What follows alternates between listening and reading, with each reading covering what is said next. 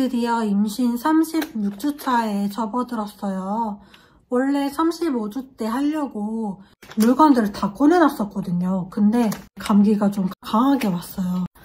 그래서 못 사다가 오늘 조금 상태가 괜찮아진 것 같아서 출산 가방을 함께 싸보려고 합니다. 그래서 먼저 제가 가는 병원에 산모 수첩해 보니까 물티슈 준비물에 있어서 아기용으로 일단 챙기고요. 저도 병원이나 조리원 생활하면서 물티슈가 필요하니까 챙기고 화장실 갈 때 쓸 비데 물티슈 혹시 몰라서 소독 티슈도 챙겨갑니다. 출산을 하고 나면 오로가 많이 나와요. 그래서 병원이나 조리원에서 산모용 패드 큰 걸 준비해 주기도 하지만 갈 때 조금 불편하다고 하더라고요. 그래서 이렇게 입는 기저귀로 준비했습니다. 그래서 오로양이 조금씩 줄어들면 이제 생리대로 교체를 하겠죠.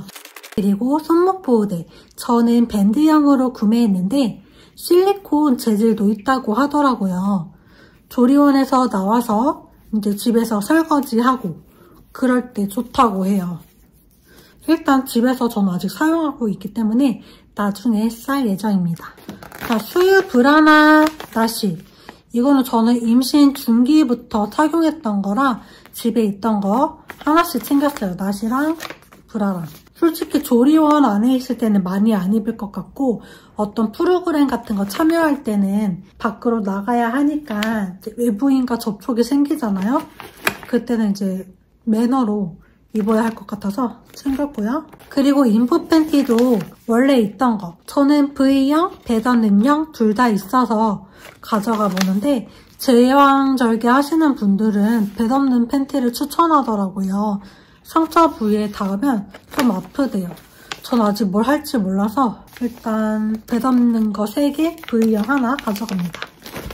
그리고 양말은 땀 흡수가 잘 되고 발목 압박하지 않는 그런 양말들을 추천하더라고요. 돌돌이 양말들을 사시던데 저는 그냥 집에 있는 목이 좀 늘어난 양말 챙겼어요. 그리고 산모복이 원피스 형태라 바람이 솔솔 들어와요. 편한 하의나 레깅스 준비하면 되는데 저는 레깅스가 편해서 이렇게 배가 편안한 레깅스. 인부용이라서 배가 엄청 늘어나요. 이거를 하나 챙겨갑니다. 조리원에서 빨래를 매일 해주시기 때문에 하나만 가져가도 충분할 것 같아요. 만약에 부족하면 가져와 달라고 부탁을 할 예정입니다. 그리고 이건 압박 스타킹이에요. 보통 무릎까지 오는 거 많이들 신고요.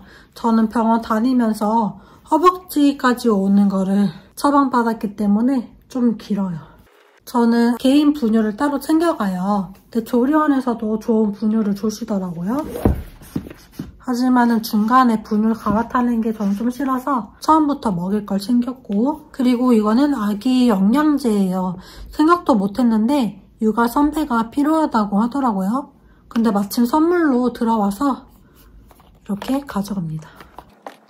저도 영양제를 먹어야겠죠. 출산 후 몸이 많이 망가지기 때문에 기존에 먹던 영양제들 챙겼고요. 특히 이제 유산균. 유산균이 필수예요. 변비가 오기 때문에. 다음은 수유용품들이에요. 이거는 없어도 될 것 같긴 한데 저는 받은 게 있어서 가져가요. 여기에는 수유 패드가 있는데 이거는 이제 산모의 모유량에 따라서 좀 다르긴 한데 어쨌든 모유가 나오기 시작하면 이게 새가지고 옷에 묻을 수 있으니까 챙겼어요. 이거를 이렇게 하면 흡수되는 면이 살에 붙을 수 있게 하고 여기 보면 테이핑이 되어 있어요. 접착식으로 되어 있어서 이 부분은 옷에 붙인 다음에 착용해 주시면 새지 않는다고 합니다. 그리고 이거 모유 저장팩도 예전에 임신 축하 박스로 받아서 가져가고요. 이거는 안 쓰시는 분들도 있다고 해요. 근데 만약에 쓰게 되면 여기에 이제 뭐 이름이나 날짜, 시간 이런 것들을 적어야 하기 때문에 네임펜을 가져가면 좋다고 하더라고요.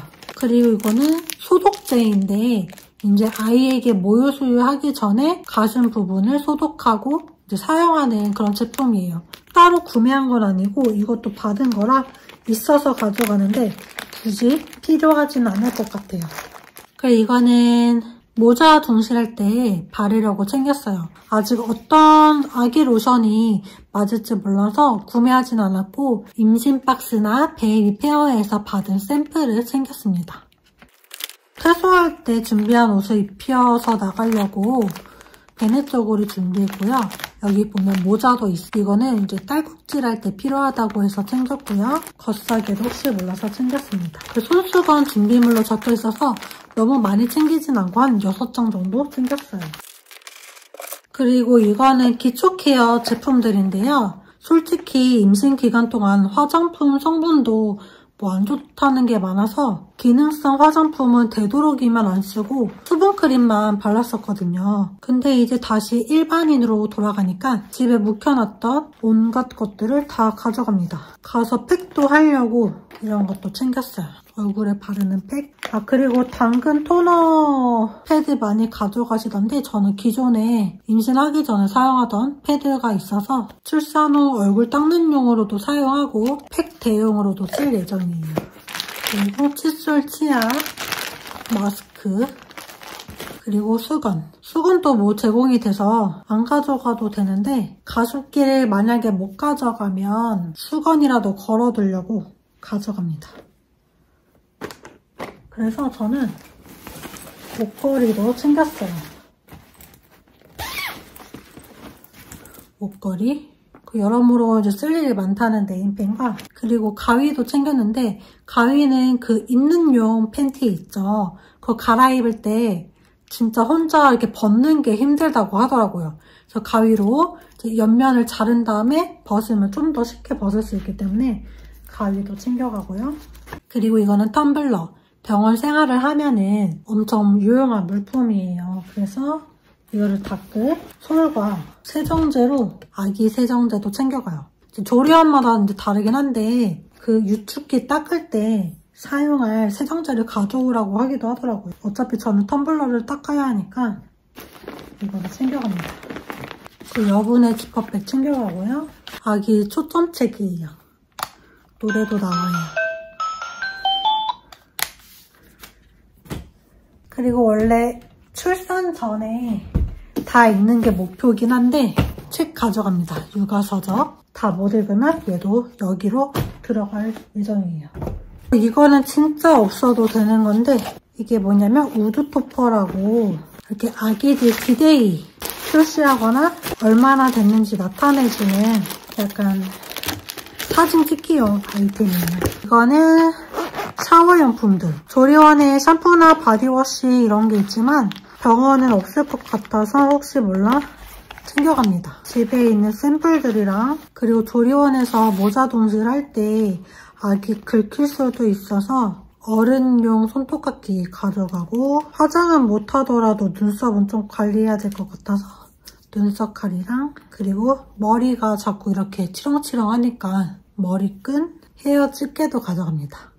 이거는 머리뿐만 아니라 이제 화장실 이용할 때 옷을 이렇게 잡고 있는 것 자체가 힘들대요. 출산하고 나면. 그래서 옷을 이렇게 찢는 용으로. 물론 팔 부분은 아니고 그 치마 부분.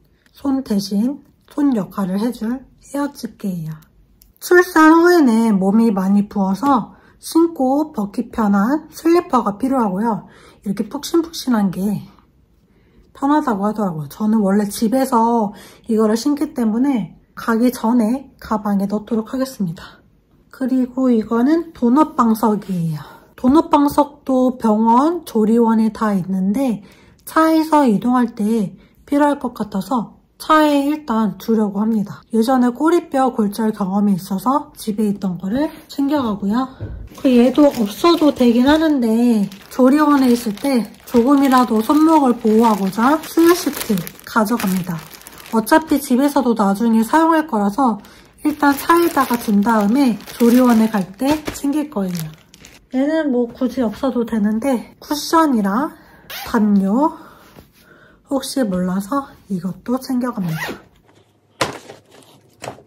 그리고 이것 외에 저는 이제 전자기기들 핸드폰, 카메라, 아이패드, 뭐 애플워치, 각종 충전기, 메모리카드, 리더기, 노트북, 키보드. 어, 이거를 챙길 거고요. 저는 유튜브 촬영용으로 가져가는 거기 때문에 조금 많고 이제 전자기기는 기본적으로 충전기 가져가도록 충전기 그리고 마지막에 산모수첩이랑 지갑, 신분증 이렇게 챙기면 됩니다.